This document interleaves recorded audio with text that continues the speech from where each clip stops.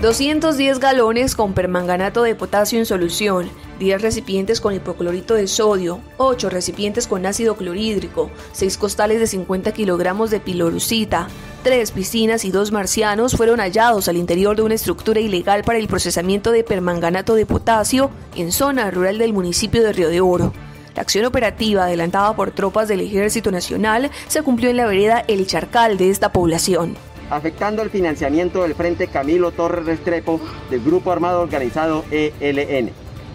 Dentro de la estructura rústica había un total de 210 galones con permanganato de potasio en solución, así como varios elementos, maquinaria, materiales e insumos, los cuales fueron destruidos de manera cuidadosa.